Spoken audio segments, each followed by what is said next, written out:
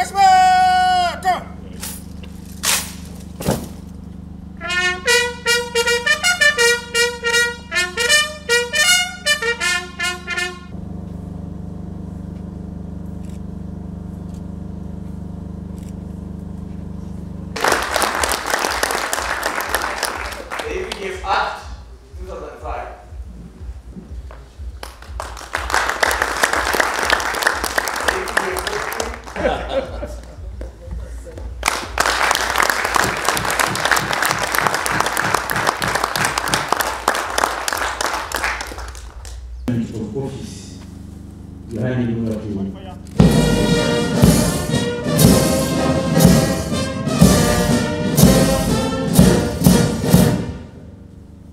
Successfully, and the General Monte Delgado has successfully received the office of the Chief of Defense Forces of the UPDF. Another grant for you.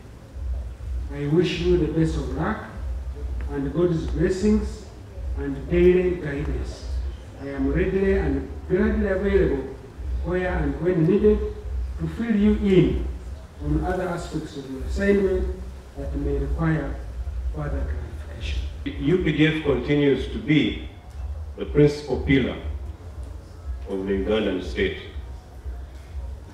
Ugandans can disagree on a lot of things, on politics, on how the economy is running, on inaction, on the scourge of corruption, and so forth, but they all respect and revere the UPDF.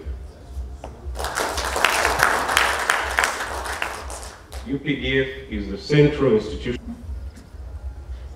I want to thank the outgoing CDF, General Mbadi, for all the work you have done with your team in building our esteemed military.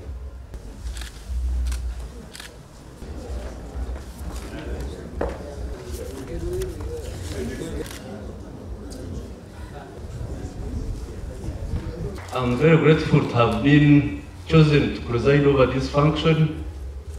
I'm just like watching a film, which is very good for me, because the details, the professional approach, the angles at which you are looking at issues is very encouraging for us, the elders.